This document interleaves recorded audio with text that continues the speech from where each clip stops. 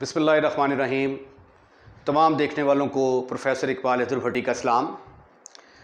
हम first year mathematics की तीसरे चैप्टर की एक्सरसाइज 3.3 कर रहे हैं। क्वेश्चन नंबर थ्री हमने स्टार्ट कर दिया हुआ है और उसके पहले चार पार्ट हम हल हल कर चुके हैं और आज हम पाँचवें पार्ट से शुरू करेंगे। अब ये देखें डिटर्मिनेंट को हमने साबित करना है कि फोर ए बी सी के इक्वल है।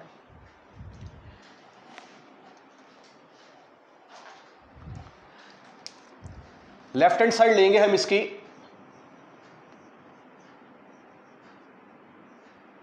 मैंने आपको एक टेक्निक बताई थी कि अगर आपको राइट हैंड साइड दी हो तो आपने कोई प्रॉपर्टी अप्लाई करके तो जो राइट हैंड साइड में जो भी दिया हुआ है, वो बनाने की कोशिश करनी है।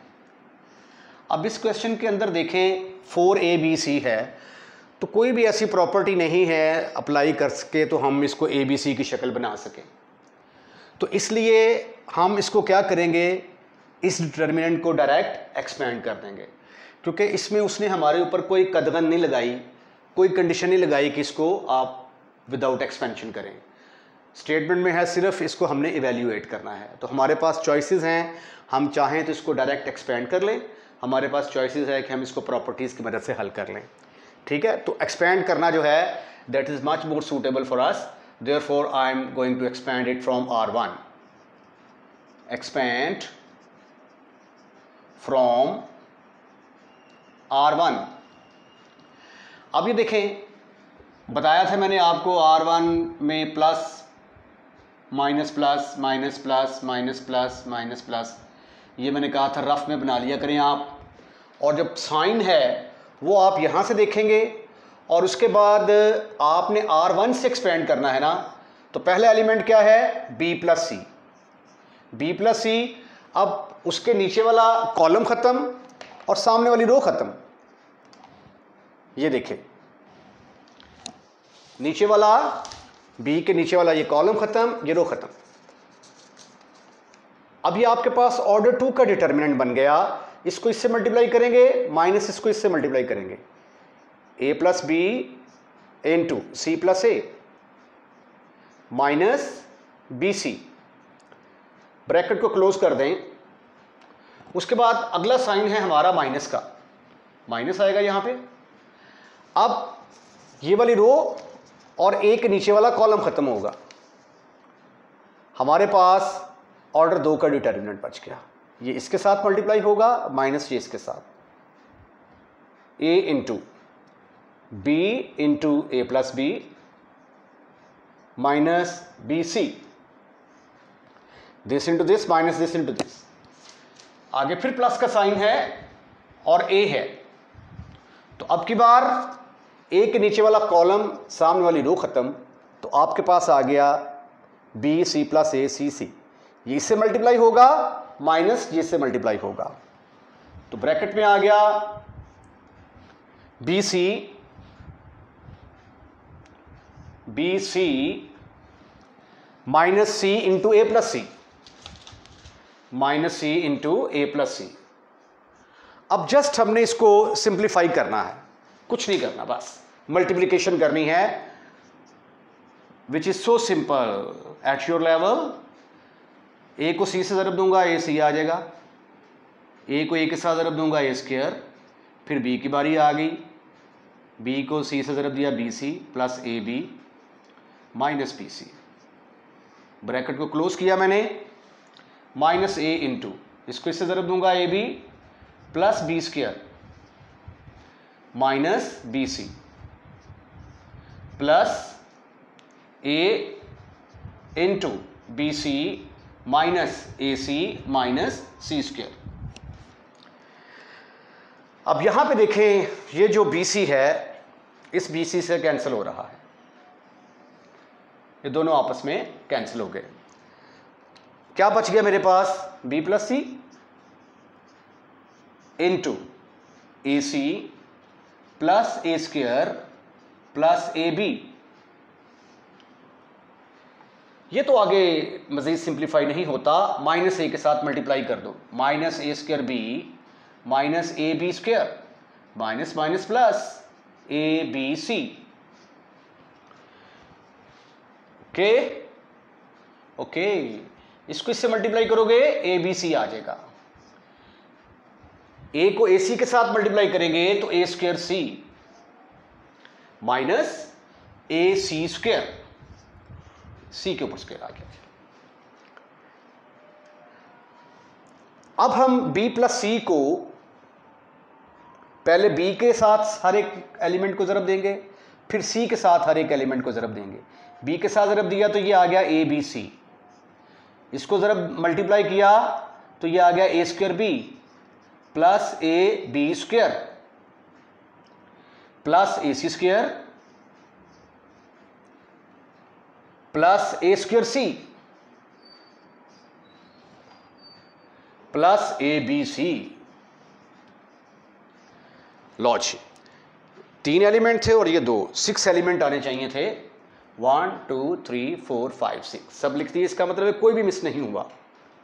अब ये क्या है? A square b minus a b square ये b c a b c मिलके, ये दोनों मिलके टू ए बी सी आ जाएगा answer. Two a b c two a b c minus a square c minus a c square अब ये देखें ज़रा ए स्क्र बी जो है ए स्क्र बी के साथ कैंसिल हो गया। ए बी स्क्र जो है ए बी स्क्र के साथ कैंसिल हो गया। ये ए सी स्क्र है, ये ए सी स्क्र के साथ कैंसिल हो गया और ये वाला इसके साथ कैंसिल हो गया। तो ए बी सी, एक ये वाला बचा, एक ये वाला। दो ए बी सी और दो पहले के हैं। टोटल कितने बन गए? Four a b c. तो फोर ए बी सी जो है, ये आपकी राइट हैंड साइड आ गई। तो जस्ट हमने इसको एक्सपेंड किया है। एक्सपेंड करने के बाद आपस में मल्टीप्लाई किया है तो हमारा आंसर निकल आया अब हम इसका पार्ट नंबर सिक्स करते हैं। छठा पार्ट है। छठे पार्ट की स्टेटमेंट है b minus one a. A b zero. One a b.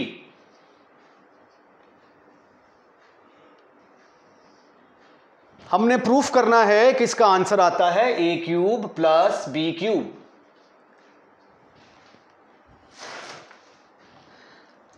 Left hand side का इंतखाब करें। Left hand side is equal to b minus one a a b zero one a b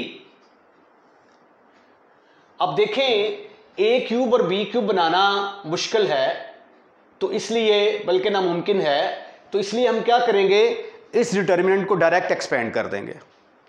Expand from r one from r one तो पहला, पहले आएगा plus B into ये column खत्म, ये रो खत्म। तो इसको इससे ज़रूरत नहीं b square minus zero b square minus zero फिर माइनस माइनस वन इंटू ये कॉलम खत्म, ये रो खत्म। ए बी माइनस ज़ीरो उसके बाद प्लस ए इंटू ये कॉलम खत्म, ये रो खत्म। ये आ गया a square minus b this is equal to b cube minus minus plus a b आ गया. Plus a cube minus a b तो ये minus a b plus a b से कैंसल तो a cube plus b cube ये किसके बराबर आ गया? This is your right hand side तो ये था इसका छठा पार्ट अब हम सातवें पार्ट की तरफ़ मूव करते हैं क्वेश्चन नंबर थ्री का सेवन्थ पार्ट है, हमने इसको साबित करना है कि ये आर के बराबर है। अब फाइव के साथ आप now you are quite familiar because it has been used in exercise three point one I think कैसे लिखते हैं? बताया था ज़ीरो लिखा वर्टिकली काट दिया तो ये फाइव बन गया। ठीक है? अब इसको देखें आर लाना मुश्किल है ना? तो क्या करेंगे हम? लेफ़्ट हैंड साइड लेंगे, इसको डायरेक्ट एक्सपेंड कर देंगे। R cos phi one minus sine of zero one zero r sine of five zero cos of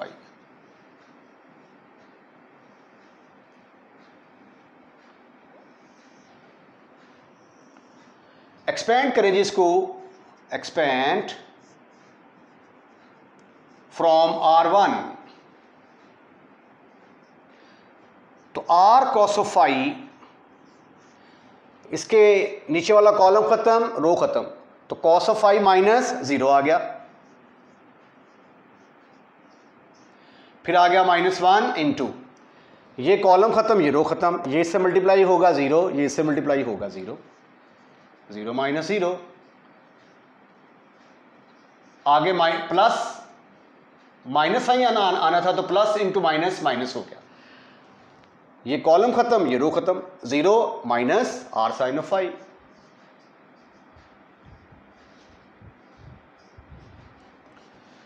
इसको मल्टीप्लाई करेंगे, R cos five cos five से मल्टीप्लाई होगा तो कॉस स्केयर फाइव बनेगा।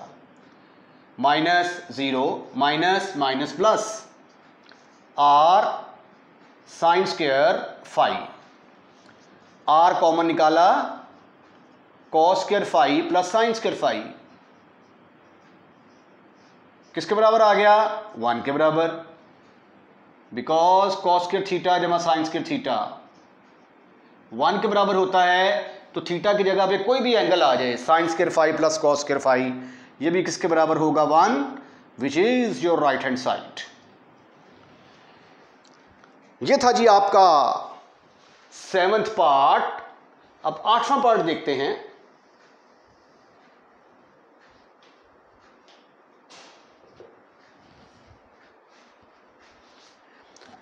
आठवें पार्ट की स्टेटमेंट है। A B plus C A plus B B C plus A B plus C C A plus B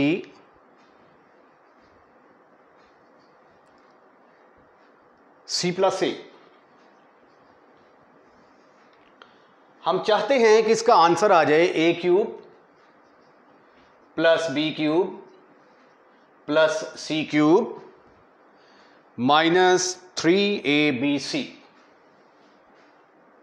three A B C ये answer चाहते हैं हम। मैं इसकी लेफ़्ट हैंड साइड लेता हूँ पहले। A B plus C A plus B B C plus A B plus C C A plus B C plus A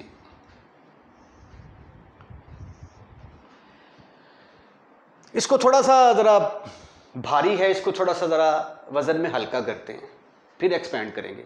अगर यहाँ पे डायरेक्ट एक्सपेंड किया तो गलती का चांस है। अब ये देखें, आपको ए नज़र आ रहा है बी सी तो अगर इसको पकड़ कर मैं इसमें से सब्ट्रैक्ट कर दूँ तो यहाँ पे क्या आ जाएगा? बी ये बी बी से कटेगा, यहाँ पे सी। सी सी से कट जाएगा ए आ जाएगा। तो काम थोड़ा सा हल्का हो जाएगा ना। तो पहले ये स्टेप करते हैं, अगला स्टेप आपको खुद ही समझ आ जाएगा क्या करना है। Subtracting C one from C three what you will get my dear students sweetie and cutie नन्हे मुन्ने बच्चों। ये देखो, क्या बन गया ये? मैट्रिक के बच्चे नया नया मैट्रिक किया आप है आपने? नन्हे मुन्ने बच्चे हैं आप। तो नन्हे मुन्ने बच्चों, इधर देखो ए प्लस बी में से मैंने ए माइनस कर दिया।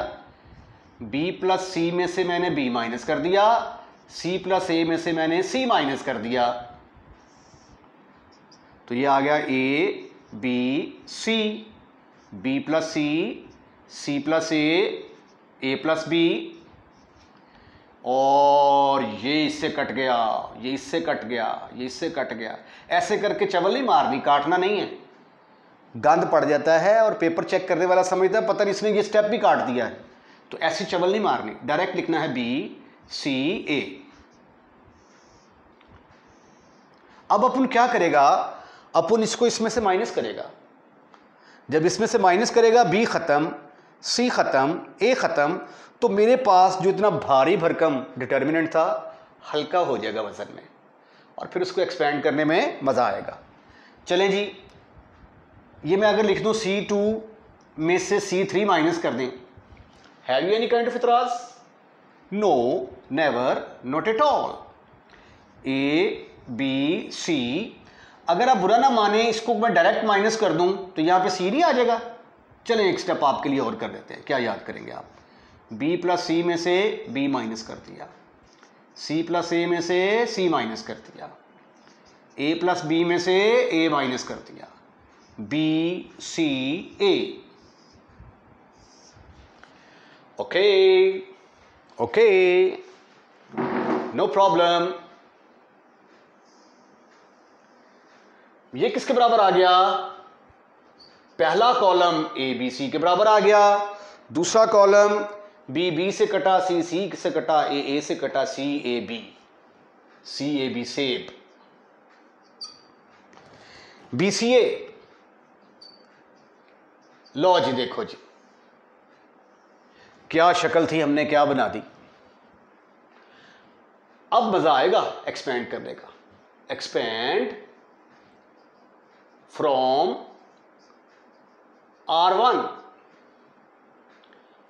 A into ये कॉलम खत्म, ये रो खत्म। तो ये आ जाएगा A square minus B C minus C into ये कॉलम खत्म, ये रो खत्म। A B minus C square अब बड़े हो गए ना आप तो इसलिए मैं डायरेक्ट वो पेपर रख के एक्सपेंड नहीं कर रहा। ठीक है? आई होप कि आपने प्रैक्टिस कर चुकी हो, कर ली होगी। बी इंटू ये कॉलम खत्म, ये रो खत्म। B square minus A C right अब आप इसकी ब्रैकेट खोलें तो ये आ गया A cube minus A B C minus A B C minus C cube minus minus plus C cube plus B cube minus A B C this is further equal to A cube plus B cube plus C cube plus c cube minus 3abc और ये क्या है? ये तो आपकी right hand side है। सो देखा कितना भारी भरकम लग रहा था और कितनी छोटी सी मासूम सी शक्ल बना के हमने इस डिटर्मिनेंट को एक्सपेंड कर दिया है। ठीक है? ये था इसका आठवां पार्ट नौवा पार्ट इंपॉर्टेंट पार्ट है और बड़ा खूबसूरत पार्ट है ये। वेरी इंपॉर्टेंट हमने साबित करना है ये determinant lambda square into A plus B plus C plus lambda के बराबर है। A plus lambda B C B plus lambda C A B C plus lambda अब देखें जो राइट हैंड साइड में रकम है, ये बनानी आसान है। ए में बी जमा हो रहा है बी में सी और लेमडा तो क्यों ना हम इसको पकड़कर और इसको पकड़कर इसमें ऐड कर दें। दोनों कॉलम्स को पकड़कर पहले वाले कॉलम में ऐड कर दें तो A plus B plus C plus lambda ये वाली टर्म आ जाएगी। ठीक है? तो इसलिए हम एक्सपेंड करने के बजाय प्रॉपर्टी अप्लाई करने की तरफ़ जा रहे हैं। Adding C two C three in C one what you will get a plus B plus C plus lambda इसको इसमें चुप कर जमा करोगे तो A plus B plus C plus ये भी लैमडा के बराबर आ जाएगा। ये भी आ गया A plus B plus C plus lambda इधर आ गया b, इधर आ गया c, इधर आ गया बी प्लस लैमडा ये C B C plus lambda now you can see that a plus b plus c plus lambda is common from c1 which is exactly the same term. Taking a plus B plus C plus lambda common from कहाँ से? C1 से common लेंगे।